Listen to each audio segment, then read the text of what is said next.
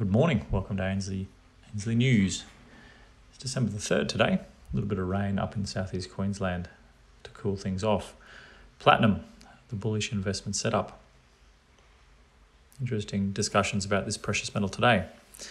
Often the forgotten precious metal, the investment setup for platinum is one that is deserving of more attention. The latest quarterly report from the World Platinum Investment Council outlines this bullish setup. But first, let's step back and look at what has been happening in platinum, its PGM brother palladium, and gold since 2013. Here's this chart here for gold, which I'm sure everyone listening is very familiar with. Just back to 2013 there, so you can see that shape of the graph. Next uh, chart we're showing is platinum. Oh, sorry, palladium. Growing up to 2020 there, sitting around 2411. And lastly, platinum. And suggestions that platinum might be ready to go up. These last two charts tell the main story for platinum. Both platinum and palladium are important components in the manufacture of catalytic converters for petrol and diesel vehicles.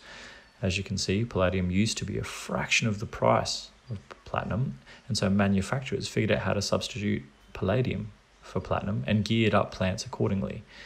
You can see what that then did to the price of palladium in the chart to the point where it quadrupled and it's now at US $2,412 or 34% more expensive than gold, whilst platinum nearly halved down around US $1,015 and is now nearly half the price of gold.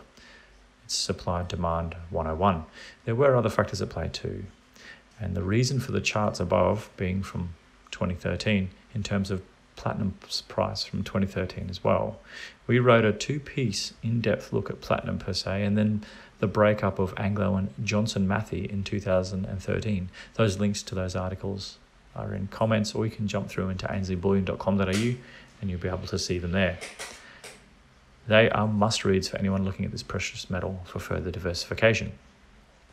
Turning back to the catalytic converter story, now it seems that manufacturers are gearing back up now towards using platinum again to reduce their cost, but importantly, are not widely discussing it as they want to load up on platinum before the investment market realizes. It is also now becoming more widely accepted that diesel, for which platinum is more effective, is being increasingly recognized as the more green of the two fossil fuels.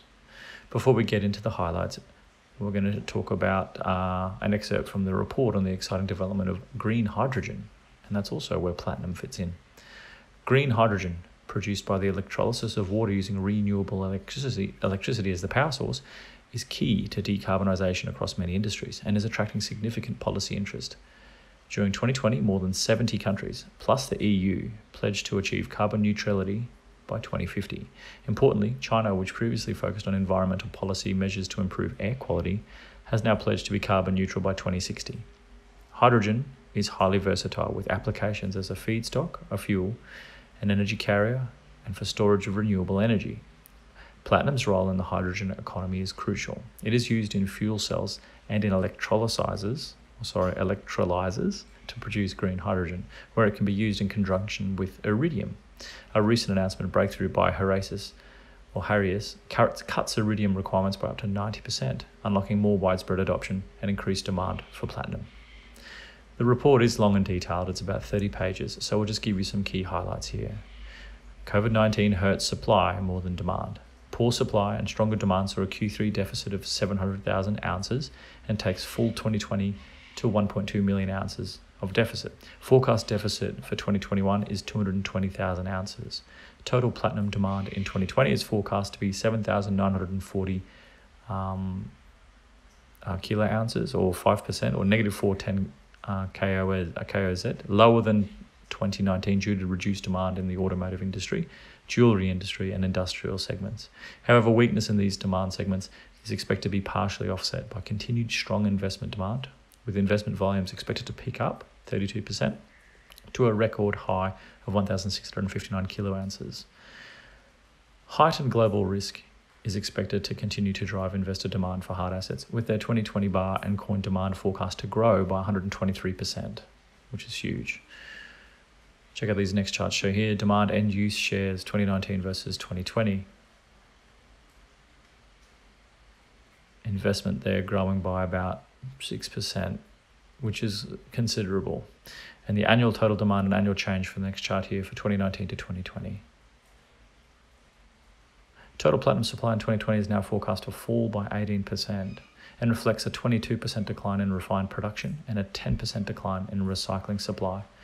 The investment case for platinum has become more compelling as 2020 has progressed, supporting strong gains in platinum investment, investment in particular growth in ETF holdings of over 600 kiloounces since platinum's March and April price lows, and bar and coy demand in the first three quarters. Investor interest and positioning increased further based on positive developments in 2020. These included the stronger than expected V shaped recoveries in automotive markets, sustained pandemic related risk driving precious metal investment demand, and severely reduced supply. That all contributed to the record uh, deficit foreset or forecast for 2020. Automakers and auto catalyst manufacturers have not published details of the extent to which platinum is currently being used to replace palladium.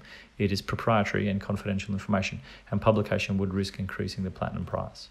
We believe that the amount of substitution is far greater than limited public information might suggest, suggest and that substitution volumes are likely to increase rapidly in 2021 and beyond, as the successful replacement of palladium by platinum is applied to a higher, higher portion of new gasoline and diesel models launched.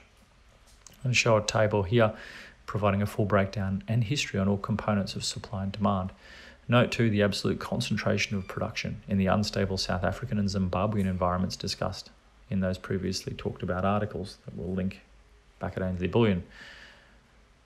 We'll pause there and you can have a brief look at this detailed table so it can make more sense for you, showing supply and demand within different industry.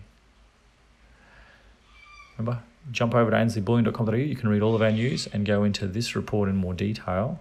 Go to ainsliewealth.com.au for all of our cryptocurrency products. If you're keen to buy Bitcoin, that's the place to jump into. You can buy it exactly the same way as you buy from Ainslie Bullion for your precious metals. Curiously, you can also swap bullion for crypto in a pretty easy transaction over the counter with Ainslie as well. Enjoy your Thursday. We'll catch you tomorrow for more news.